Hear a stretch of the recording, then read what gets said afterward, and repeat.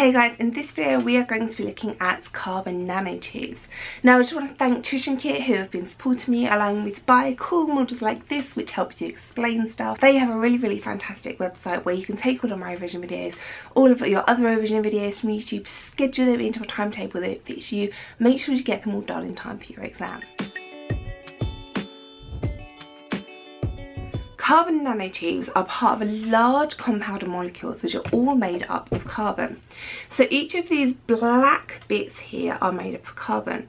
But you can see this is slightly different to the other carbon structures that we've talked about. These are our covalent bonds and you can see it's making three carbon-carbon bonds here. And it's a long flat sheet that has been twisted around upon itself to make a tube. Now these tubes can be capped at either end so it can make like a, a tablet or a capsule shape and the fantastic things about this is they're really really good for delivery. You can take this carbon nanotube with its space in the middle and fill it with things.